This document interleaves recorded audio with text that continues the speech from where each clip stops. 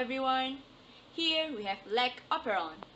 Lac operon has five components. First, the promoter. Promoter is the binding site for RNA polymerase. RNA polymerase function is to transcribe the structural genes to produce mRNA. Second, we have operator. Operator is the binding site for repressor. And the repressor will repress the transcription of the genes. And then the third one, we have structural genes. First structural genes is the lacZ. lacZ is the beta-galactosidase. Beta-galactosidase is used to break down lactose. Second is the lacY. lacY is the permease. Permease is used to allow lactose to cross cell membrane. And the last one is lacA. lacA is thiogalactoside transacetylase. Its function is still unknown.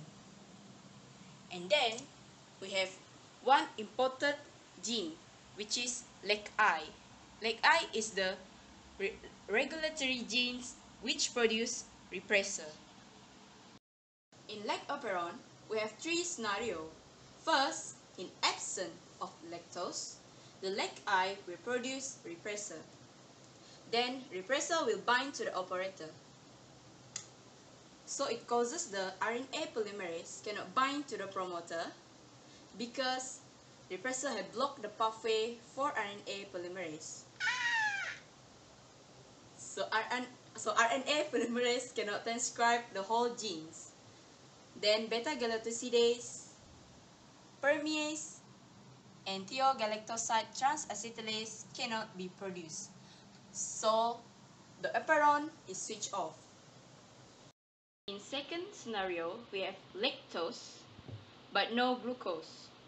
So lactose will bind to the repressor and change its conformational shape.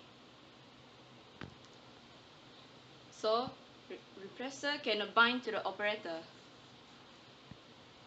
It makes the RNA polymerase will bind to the promoter and transcribe the genes to produce mRNA.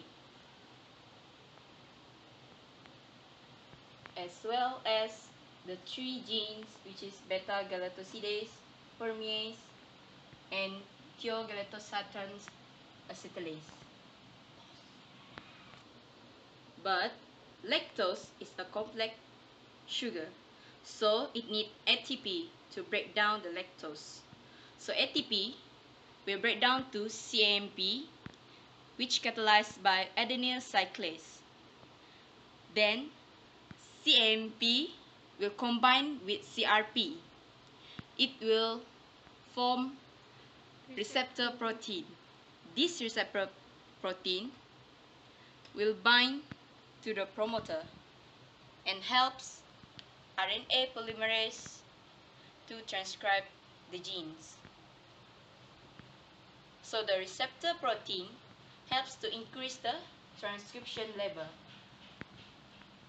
the lac operon turn off, turn on. Scenario, we have lactose and we have glucose. So, lactose we bind to the repressor and change the conformational shape. So, the, the repressor can bind to the operator.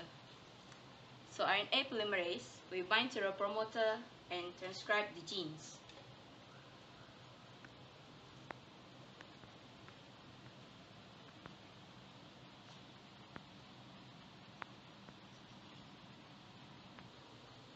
But in the presence of glucose, lac operon will prefer glucose in order to reduce the energy consumption.